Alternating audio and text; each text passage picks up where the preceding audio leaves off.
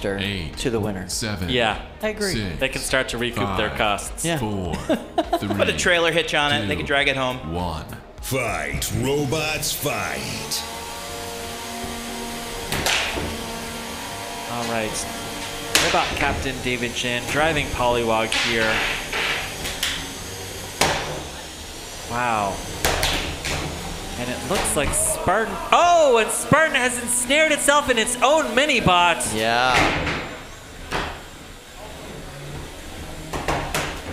But this isn't the the big wheel that's been driving with Spartan. That's Flex. No, yeah, this is uh, part of the Minibot Team Flex Seal. How much does Flex weigh, Kyle? That looks like a big old bot. this looks like it's two beetle weights on one. Might be. Might be. I don't know about this. Seems a little weird. Ooh. I guess once you weigh in once, I mean, what? Are we not weighing these bots again? Well, I mean, it was a part of what three bots, right? Who knows what the weight of those three bots were, Kyle? I think it was a 12 pound configuration.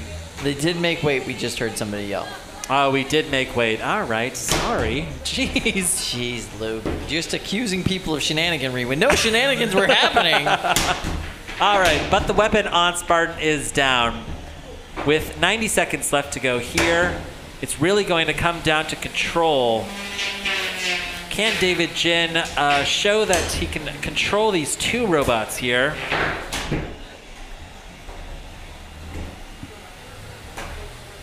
Full-size golden dumpster for the heavyweights. I love it. Yeah, that's a pretty good idea, Anthony. It's a great idea. Then you can just ride home in your own dumpster.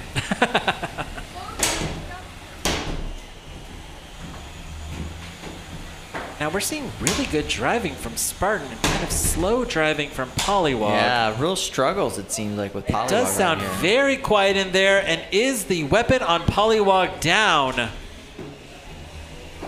It appears as every weapon in this box is down right now. Polywog is spinning, but it sounds like a very slowly. And how much of that is just momentum, right? We don't know. No, it's definitely spinning, Kyle. It's powered. Are you 30 sure? seconds left. Oh yeah. there you go. Yeah, there you go. A little pop. Wow, this one may go to the judges. And Polywog is under uh, Spartan really tearing away at that top plate. Ooh, that is damage for sure. 10 seconds left here in this fight. Polywog's weapon has run the full three minutes. Polywog's drive has run the full three minutes. And it's going to come down to who shows aggression and control. 2 1. That's the end of the match. Turn off your weapon, Polywog, and drive to the door. This one goes to the judges.